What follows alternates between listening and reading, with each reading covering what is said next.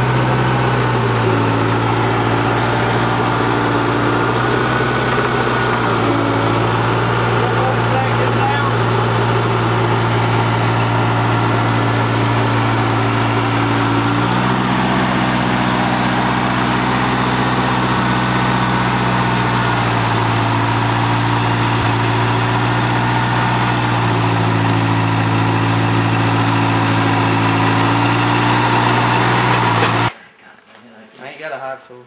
Well, this, we'll just, Just use this, this is an empty one, but it's the same Yeah, we can edit that. But, uh, basically what we do is run it through this electric uncapper. Now, I don't know what, if they got it set up for deeps or what. You can set this machine up to extract, uh, uh, supers like we're doing here, frames, or you can do hive bodies as well. Uh, there's also an Illinois depth frame, which is a little bit taller than this. You can hook it up for that. I think they got it for Illinois depth right now, but still, basically, you just run that machine.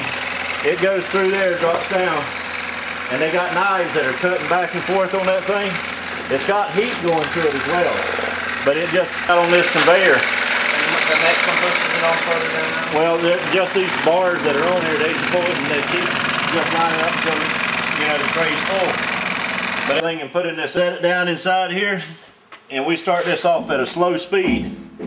Okay, just so we can start. What it does, spin around and around and around, just slings the honey out. Well, let's get on that one's uh, This is uh, like one I got dig, well not digital, but it's uh, uh, got a dial on it that you can do it. Let's see, everything's out of the way.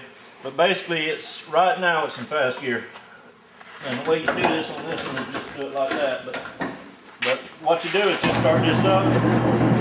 What happens? It's going to spin fast, but it just starts spinning around and around and around. Spins and that honey slings out of that comb and everything. So what it does from that point, you know, you got different speeds on. Like I said, I got it low speed right now. But as the honey slings out, then we speed it up a little bit more until it slung it all out. Uh, but then just cut these things down and unload them. But as you see, there's a drain pipe that comes out at the bottom of every one of these extractors here. Like on this, the drain pipe comes out right here.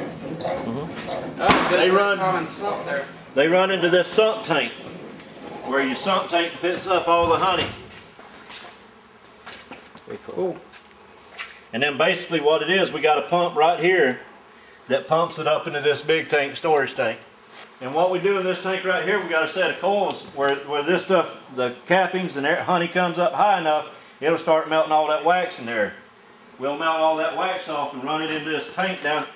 Let go of me, bit. It'll run in this little tub down here, and you got wax. Mm-hmm.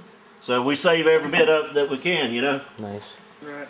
Real low pressure, like five or six psi, or Uh, yeah, I think it's something like that. It may be a little bit higher than that, but it ain't much. I think it's like 10, 10 psi or something like that.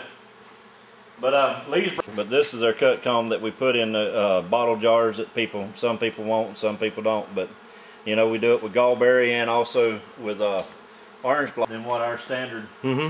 eight frame supers are, which he's got ten framers in it. Well, is it ten framers? No, he's got eight framers too. yeah, I thought Lee was ten frame. I did too, but now I think about it, no, he's Oh. pretty He's much totally eight frame. I don't know if you can see. Look at that shot. Look at all this he's got over here. Nice. So that's stuff's been pretty. extracted. This is actually stuff that we've had on that we've taken it back off the bees in the process of making nukes. So that's pretty much what that amounts to. Right, Yeah, you can keep your coil still on the. Exactly. You do quick connects. Right. It had that funny color.